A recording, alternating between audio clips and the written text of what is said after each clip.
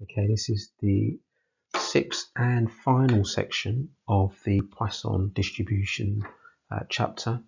And uh, what we're going to be doing is using the Poisson distribution to approximate the binomial distribution. Now, quite often when we do these approximations, um, it goes back to a time where tables, uh, when we use tables to find the probabilities, they only went up to a certain uh, number of values. So, for example, with the binomial, um, n only went up to 50, and if you know if you had a question where n was greater than 50, you would have to um, uh, then approximate a binomial distribution either with a Poisson distribution or a normal distribution depending on its values.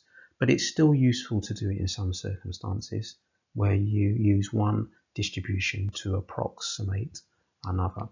Okay, even though we can really work out these things on, on calculators and computers quite easily.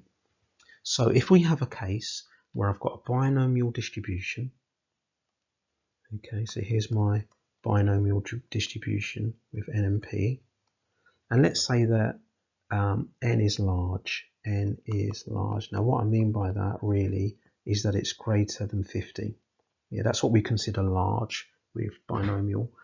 And p is close to zero. Okay, so we, we call it small if p is small. Then we can approximate the binomial distribution with a Poisson distribution. Now, if we're going to do that, we need to know what we're going to use in the place of lambda. And in the place of lambda, that's the mean, and we know how to work out the mean, n times p. So we'll start with something like this. x is a binomial distribution with n and p. And we're going to work, it, work out what it is approximately with a Poisson distribution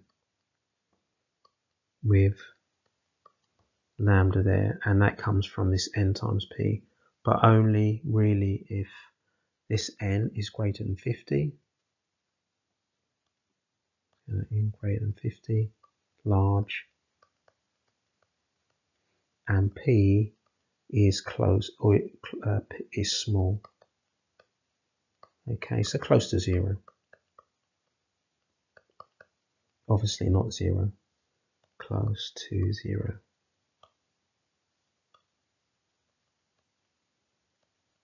Right, let's try some questions.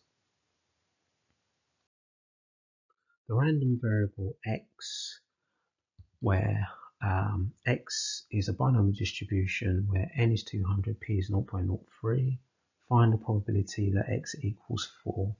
So in part A, I'm going to work out what it is exactly using my calculator. So I'm not approximating anything yet because it hasn't asked me to.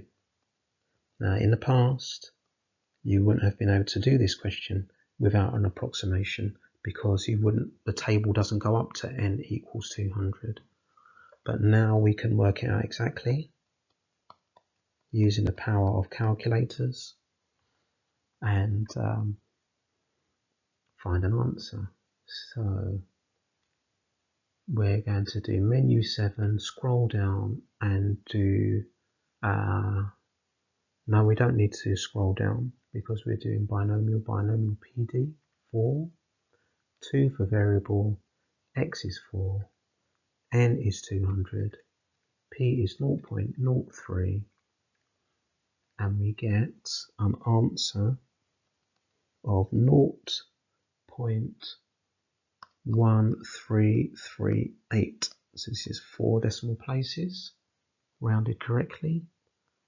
Right, what does it say just before part B? A Poisson variable um, is used to approximate x. Write down the value of lambda and justify the use of a uh, Poisson approximation uh, in this case. So if we write down the value of lambda, lambda is equal to n times p That means lambda is 200 times 0.03, which gives us lambda equal to, um, so either going to be 6 or 60. I think it's going to be 6, isn't it? If you do 220 0.6, yeah, it's going to be 6. And can we justify it? Um, we can approximate since n is large. Okay well it's greater than 50 and p is close or p is small. Yeah so they're the, the things that that's small and the other thing is large. That should justify it. That's what we're looking for part C find the probability of y equals 4 and comment on the accuracy of this approximation. Right, so now um, with our Poisson distribution with lambda as 6, we are going to work out the probability that x is 4. So if you press the OPTN button, the option button under shift, select 1, and then go to Poisson PD number two and variable. So x is going to be 4, lambda is going to be 6, and I get to four decimal places 0.1338. Uh, well, 1 point if I round it, because it's a 5 after the 8. That's a 9.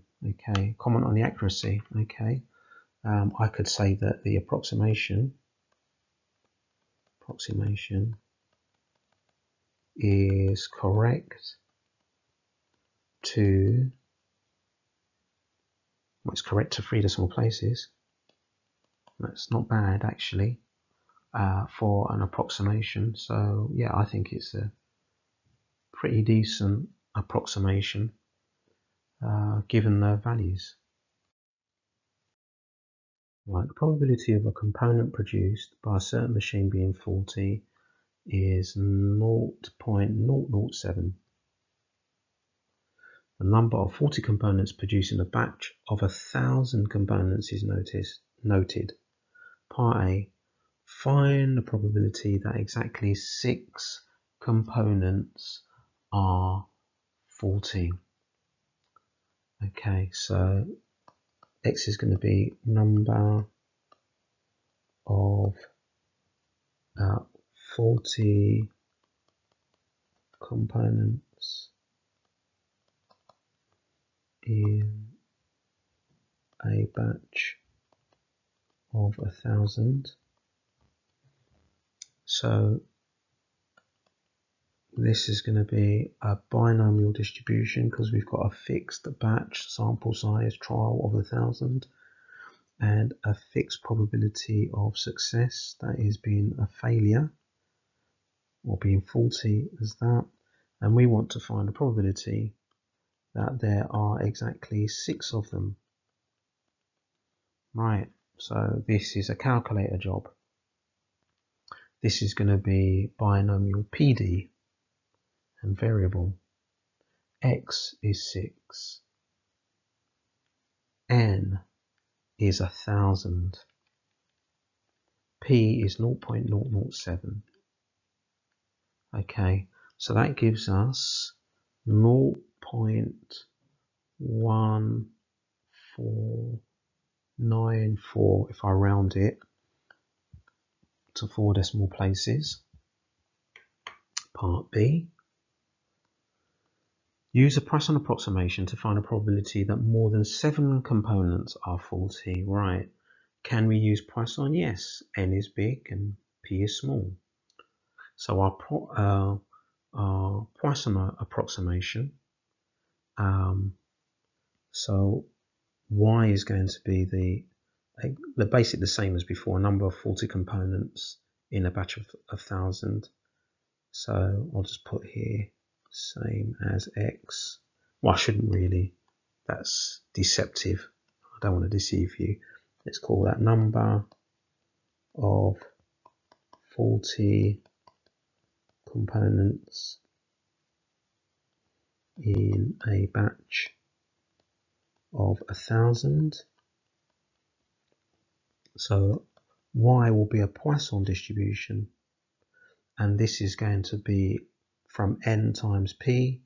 So that's um, I think that's going to be 7 so times by 10 100 1000 yeah it's going to be 7 so this came from doing n times p which is a thousand times by 0.007 if you were wondering where they came from.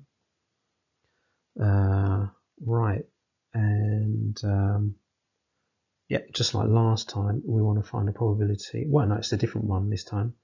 Um, the probability that there's more than seven components so that y is greater than 7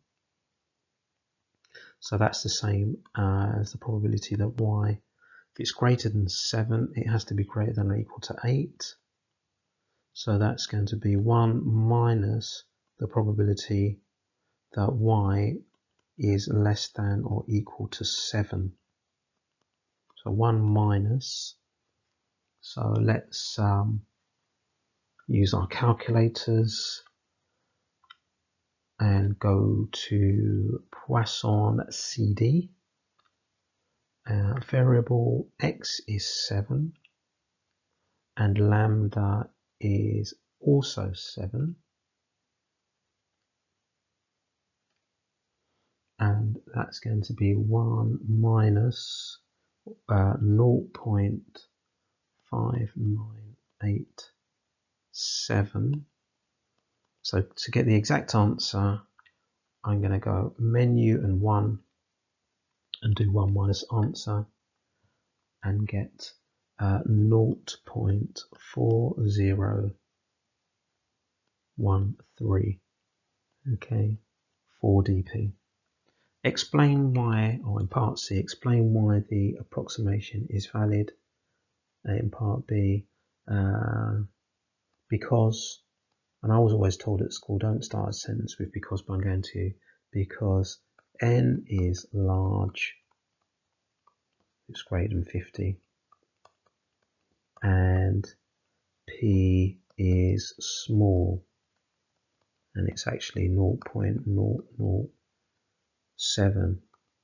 And if we wanted to, we could um, maybe uh, look at the uh, the exact value and compare the two. Right, exercise 2G on pages 36 to 38, which is uh, uh, what you need to do. So, uh, just a summary, we've got binomial distribution, we've got N and P, we want to approximate it using a Poisson distribution. This will be n times p here, uh, but we can only do this if n is large, that is greater than 50, and p is small, close to zero. And um, the other thing you might need, they might ask you about the percentage error. Now the percentage error is going to be the difference between difference between exact and approximation. So the difference between your exact answer and the approximation divided by the exact value. So in this case you're going to get the exact value from the binomial distribution times by 100 and that will give you the percentage error. Obviously you'll need to work out um, when you work out the difference between the exact and the approximate it might be exact minus approximate or approximate minus exact but you want to get a, a positive answer so it'll depend on the question. But divide that by the exact answer. That's what you get from the binomial um, uh, part of the question, times that by 100% and you get a percentage error.